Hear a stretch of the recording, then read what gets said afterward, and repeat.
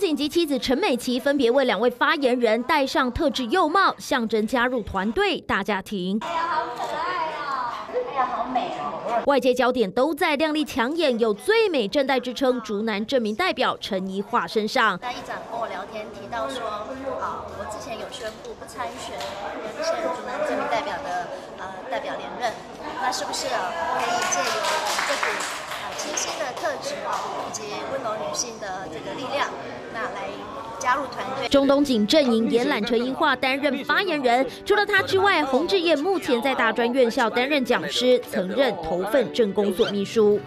哦哦，好，西湖柚子真的很棒，而且我们种植的面积高达一百五十公顷。中东锦打出双发言人策略，他的对手谢福洪频频喊出唯一正蓝军，找来的发言人陈新宇来头也不小。呃，我跟他是一面之缘，可是我们一面之缘，我们一谈。